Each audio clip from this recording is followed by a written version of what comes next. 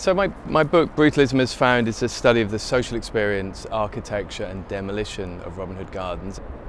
I was drawn to the project as a way of uh, engaging and challenging the crisis of social housing, but also I was concerned to engage with brutalism. And you have the, you know, the mullions vary as you go along, these really curious things, you know, protruding out partially into your view brutalism has been wrongly appreciated only through its material qualities and its monumental scale. It's not that this is uh, irrelevant or, or, or not important to brutalism, but in the process of this focus on the material qualities, the social qualities of brutalism have been pushed aside to such an extent that they, the aestheticised brutalism is now facilitating uh, the privatisation of council housing. And then over here you see um, the, the Balfron Tower. Uh, you know, this is, this is less than half a mile away. Uh, and for many years, Robin Hood Gardens and Balfron Tower were both, you know, terribly stigmatised as concrete monstrosities, sink estates and so forth by government, by the press, in the media. Uh, but decisions were made as to the future of these two estates. It was decided that Robin Hood Gardens would be demolished and to make way for private rebuild and that Balfron Tower would be privatised uh, and sold on, you know, as to property speculators and to middle class home buyers. And so as this, as this separation in their future started to emerge, so we saw a separation in the way they were described in, in, in, in the media and by government. And over time, with the help of heritage industries, with the help of culture industries, Balfron Tower became no longer a concrete monstrosity and became instead a modernist masterpiece, a brutalist masterpiece. When it's working class housing, it's stigmatized.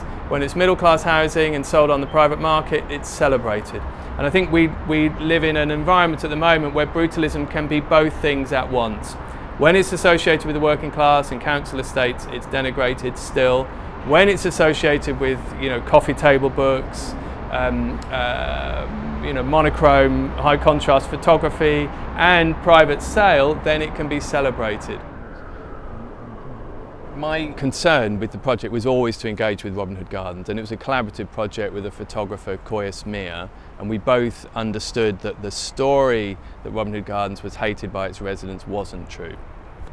So we wanted to challenge that story but also to understand residents' complicated experience of the estate um, as a living architecture, as a social space and an architectural space, and not to give either of those priority. So the Smithsons, as the architects, were clearly vital uh, to understanding the project. We didn't at all want to read the estate only through their eyes, but actually their writing and other aspects of, of their uh, work on paper was very helpful for understanding uh, Robin Hood Gardens.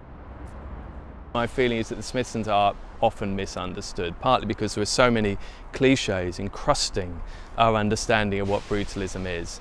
Um, and also the Smithsons write in a very strange way. Some of it is really extraordinarily wonderful and insightful. Some of it is botched, a kind of botched understanding of their work because it's so experimental.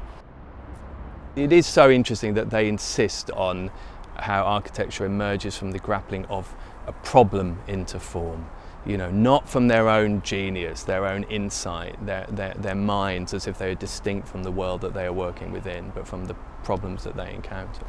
And this is how I understand Alison and Peter Smithson's uh, argument that brutalism drags a rough poetry from the confused and conflictual forces of the social world. Now, uh, part of this argument is that the social should be understood as coursing through the architectural. It's not simply that brutalism or Robin Hood Gardens provide social housing in an aesthetic way or in an, in an architectural way, but the architecture is interrogating the social realm and it brings the social realm into form, into architectural form.